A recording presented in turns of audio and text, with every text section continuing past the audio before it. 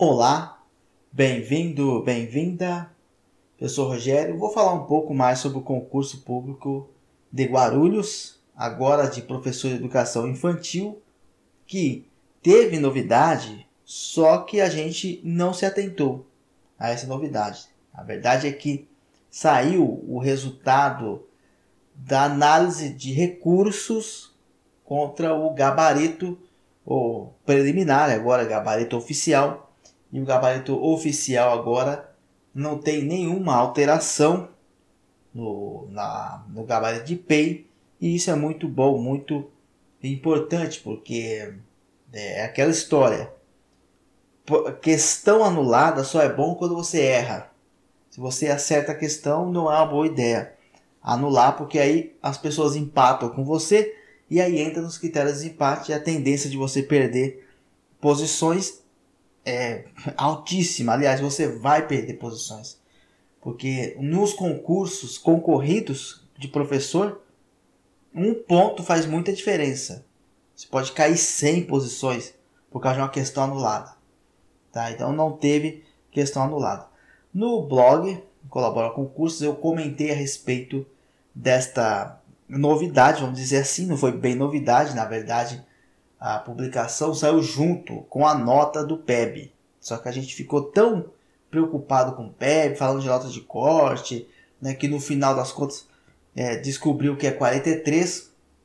Ficamos tão ocupados com esse assunto que acabamos deixando passar batido a novidade do PEI. Passa no blog no Colabora Concurso depois do vídeo para dar uma lida lá que eu fiz alguns cálculos a respeito da a nota de corte. Bom, é assim o seguinte: é, se a nota de corte for maior que 34, eu não passo na prova de PEI, eu não passo para a segunda fase. Mas assim, com relação ao concurso público de Guarulhos, eu estou assim muito satisfeito por ter conseguido passar para a segunda fase na de PEB.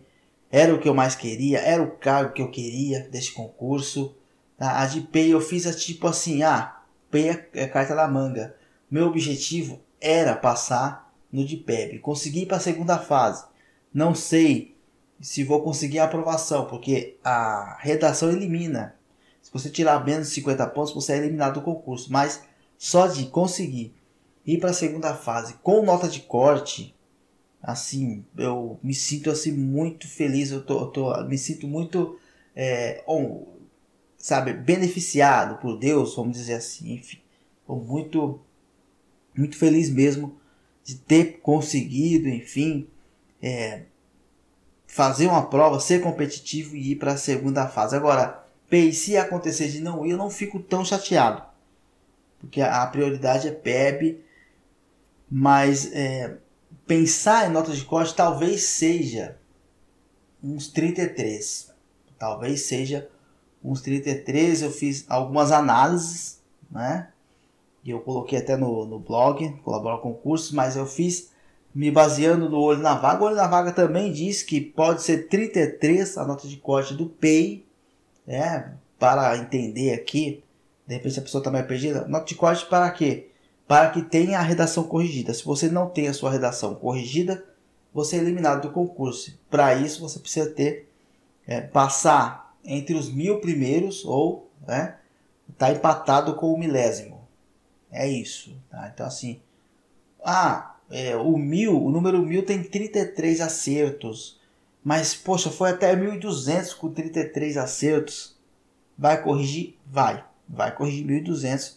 Porque o edital deixa bem claro que é, os empatados com a posição de corte vão ter suas redações corrigidas. Rogério, você acha que pode acontecer de aumentar o número de redações corrigidas, assim como foi do PEB, acho um pouco difícil, muito difícil mesmo, porque o número mil já é alto. Mas é possível que aconteça, de repente, ah, vamos corrigir de, é, de 50%, né? Quem conseguiu 50% vai ter a redação corrigida. Bem difícil, mas poderia ser. Eu arrisco dizer que, poxa, se de repente eles decidem aumentar, aumenta para 1.200. 200 redações a mais aí. Porque a prefeitura pensa o seguinte, poxa, mil. De repente eu vou aumentar para 1.200, aí os empatados vai dar 1.400 e pouco, quase 1.500. Para a prefeitura é como se fosse um cadastro reserva de 1.500. Então, é, por isso pode é, existir uma resistência nesse sentido. Mas, é, até como maneira de reparar um dano que aconteceu no concurso, que foi a respeito da, da, da faculdade lá da Universidade de Guarulhos, né? UNG, que teve aquela questão do horário, que o pessoal saiu antes, depois deu uma confusão na porta, enfim. Talvez a prefeitura pensasse nesse sentido, ah, não vamos dar uma chance. Ainda assim, acho difícil. Voltando para a nota de código, para os cálculos, né, olhando as estatísticas no olho na vaga, eu constatei que 53% dos cadastros no olho na vaga, que fique bem claro, conseguiram aprovação. Não é uma aprovação baixa. Então acho que pode ser um pouco menos, deve ser bem menos que de aprovados. Mas o olho na vaga consta 53%. O olho na vaga é, é aquela, né? o pessoal que cadastra a nota lá está acostumado com concurso. Talvez seja um pouco menor esse índice de aprovação. Né? Mas se for 53%, tivemos 11 mil inscritos, né, aproximadamente. É, parece que a ausência foi de 45%, então você tem 6.050 pessoas que fizeram a prova, aproximadamente. E com 53% de, de aprovação, você tem 3.200 aprovados. É muita coisa. É, 3.200 aprovados, assim, a nota de corte pode dar até 36, talvez se tiver tudo isso aprovado. Mas eu ainda acho que não tem, né? Não tem. Talvez seja a aprovação de 35% das pessoas. Isso dá 2.150 mais ou menos. Né?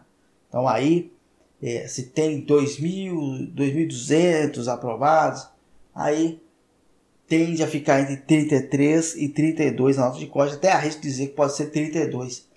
Mas tudo depende do número de aprovados. Porque não tem tanto empate assim. Você, ah, 5 mil aprovados. Então não vai ter muito empate numa nota assim, mediana.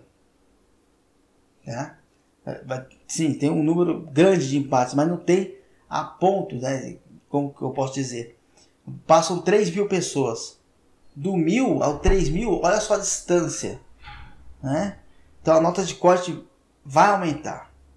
Então vamos esperar aí sair a nota, que saindo a nota, a gente pega a planilha, de repente, a mesma pessoa que fez do PEB vai acabar fazendo do PEI. Pega a planilha e faz uma classificação que ela fez do, do PEB. Em breve vou postar um, um texto lá no blog comentando sobre isso, é, sobre essa planilha que tem lá a classificação. É, mas jogar no Excel sem os filtros é, como que eu posso dizer, os, os filtros que fazem com que a, o critério de desempate seja aplicado. Né? Colocaram o filtro como é, a nota, a nota final e depois em ordem alfabética. Tá mais ou menos assim o filtro, pelo que eu vi lá. Daí não dá a classificação exata. Mas tá bom, tá? Parabéns à pessoa que fez a planilha do Excel. Então assim, Pode ser que saia alguma coisa hoje no Diário Oficial de Guarulhos a respeito de nota de PEI, porque a de PEB saiu na sexta-feira 13, demorou pouca coisa. Dois dias úteis depois dessa publicação saiu a nota. Então é possível pensar que né, o julgamento de gabarito do PEI saiu no dia 17. Então, no segundo dia útil, dia 19, é possível que saia alguma coisa no Diário Oficial. Que hora que sai o Diário Oficial de Guarulhos? À noite. 7, 8 horas. Então à noite, se tiver alguma novidade, vai ser à noite. Aí eu faço um vídeo correndo aqui e lanço de manhã. Tá? É isso. Bom, com isso a gente termina o vídeo aqui.